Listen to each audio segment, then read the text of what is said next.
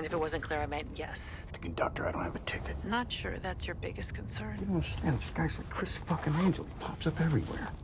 He slows me down, Tangerine catches me up. I am dead. Dead. Dead. Hold on.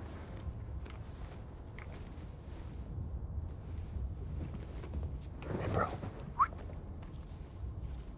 to make an easy 200 bucks?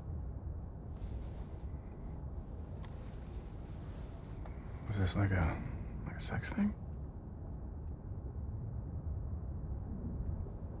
Nope.